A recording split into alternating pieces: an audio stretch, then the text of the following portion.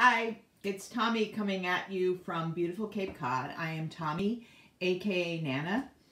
I am a Brightline eater and I come on here to um, share uh, my journey, um, things that I do to support my journey, um, ideas that I have.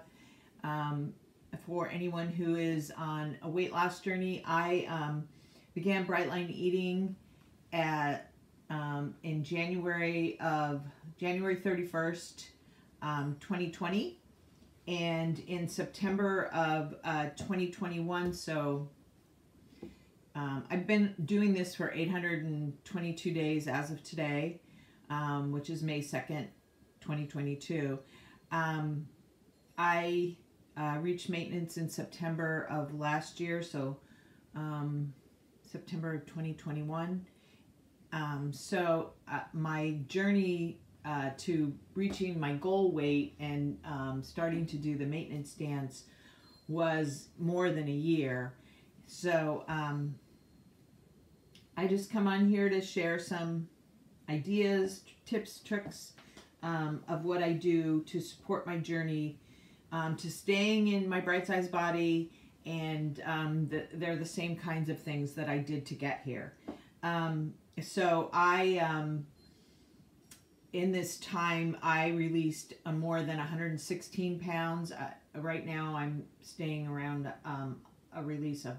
I started at 249, and I got as low as 233, and um, right now I'm my goal range is 233 to 142 and I'm at about 140 and I'm comfortable. I went from, you know, size 20, that's as high as I would buy, to um, a size um, 6, and that's what I pretty much am in, a small to a medium um, size 6.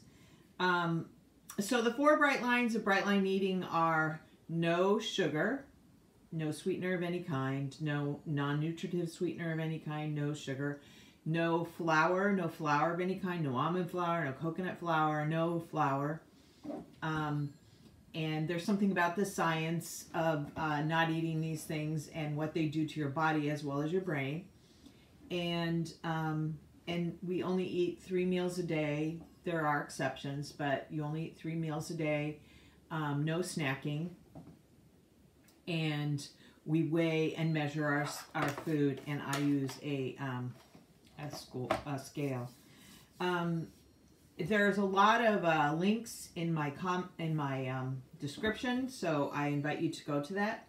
Um, and I am uh, 63 years old. I have um, Hashimoto's disease. I have um, osteoporosis, and um, you know just autoimmune um, symptoms, you know, achiness, that kind of thing. So um, I um, I wanted to share. Uh, oh, so I live on Cape Cod, and I um, I do Brightline Eating, and uh, since December of this year, well, no, December of last year, my husband has started to do it as well, and um, in uh, since December, and he started around Christmas time. He has released, I think, 54 pounds so far, and is doing well, and just looks like a new person. So it's pretty exciting. Um, so I just wanted to kind of, I, first I wanted to share an idea that kind of came to my mind last night, and um, that was that I. Uh, you know, sweet potatoes are one of the grains that um, we eat on Bright Brightline Eating, and I only have a grain still in the morning. And so um, last night I took my um, trusty crock pot and I, I actually turned it on high and I tossed um, four um, sweet potatoes. I already eaten one of them. So um, while I'm talking to you, I'm actually going to um, so I just I I stuck them in this in the um in the crock pot last night and um, when I woke up in the morning you could smell that the sweet potatoes were all done and and you know they're they're kind of steamed. I could have um, slashed them. I didn't. It was the first time I was doing it this way. So I wanted to, um, I wanted to be sure that uh, that they were going to be, um, um, you know, cooked. So I put it on high and I just threw them in and I was doing this literally at like 10 o'clock at night. So um, what I'm doing now is I'm just kind of peeling them and I'm going to, uh, I eat four ounces of uh, sweet potato. So I'm going to put them into um, individual containers. So this is one of the things that I definitely do to um, to support my um, my program is that um, sometimes I, you know, if I make something, like if I make a salad, I make a bunch of salad. And then I, uh, you know, make the salad for today. And then I make a salad for a dinner or a lunch. And I, um, I uh, put a label on it. And seem to have any labels right here right now. I put a little sticky note on it and put it in the refrigerator. Um, people call call this kind of food factory, so they do like people will do uh, bright line eaters will do food factory days, and on those days they will um, they will you know prepare a bunch of their food in advance so that you know like I have a morning where I get up really early and um, I have to uh, drive to Boston and um, and I take my lunch and I try as much as I can to have that lunch prepared the night before and um, have my breakfast uh, pretty easy so that I can get up and you know if I'm having uh, sweet potato then you know I have maybe the the if I'm going to have berries with it, I have the berries pre-measured or, um, you know, I just have it prepped as much as possible so that I, I lessen the amount of time that I have to do to prepare it. So having your food prepared in advance um, is a good thing to do when you're doing bright line eating. Um, if you're going to have trouble with your willpower, that's a, a good thing to have, you know, to, to um, well, the first thing is really that I decide um, what I'm going to eat. Like I finish my dinner. Um, let me. Um, I finish my, um, I'll finish my dinner and then I'll take my um, food journal and, and this is my food journal and I will um, write out the next day and I will say what I plan to eat for breakfast, lunch, and dinner. Of course, changes can happen, but um, so, um, you know, I planned out. So today I had sweet potatoes with an ounce of mixed um, nut butter and, um, you know, it's a, any kind of nut butter or seed butter that you have should have no no added sugars or oils should just be as as as pure as possible um, or don't eat it. Um, so I might have uh, nut butter. Today I had nut butter and then I had um, a couple ounces of yogurt. I had um, three ounces of blueberries three ounces of banana and um, some cinnamon sprinkled on that and that was my breakfast.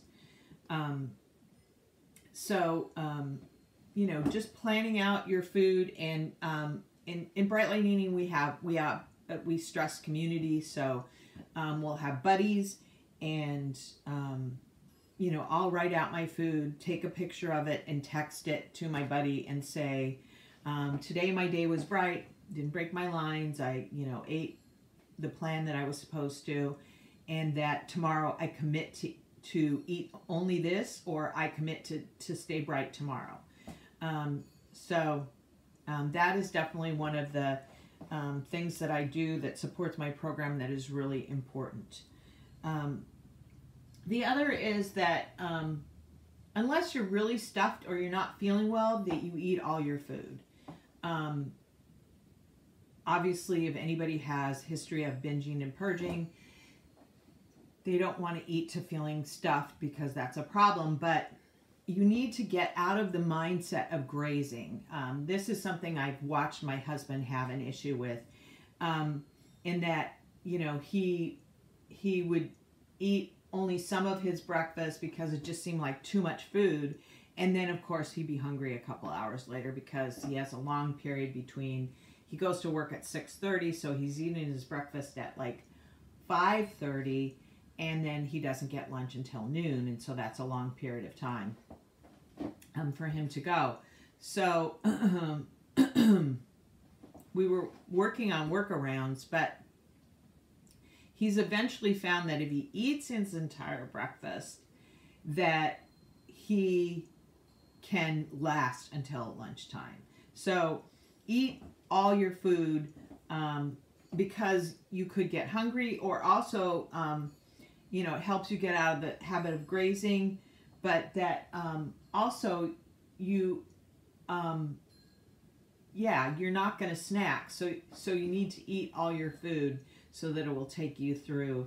And you know for some people the hardest thing to get used to eating is the amount of vegetables because on the weight loss program there is 20 ounces of vegetables. I personally now eat uh, 24 ounces of vegetables a day and there are people who eat more than that um, so, especially if you're eating raw vegetables or a salad, you know, it's a pretty big, huge salad.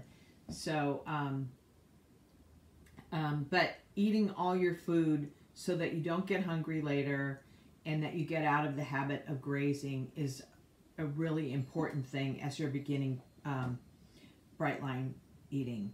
Prepping ahead as much as possible and deciding what you're going to eat in advance those are all things that help you to um, not, you know, decide things in the moment.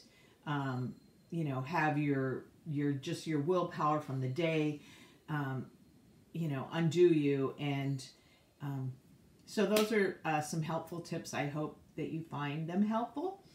Um, if there's anything that you'd like me to make a video about, please uh, put it in the comments. Like, subscribe, share it with your friends and I hope you have a wonderful, beautiful, bright day.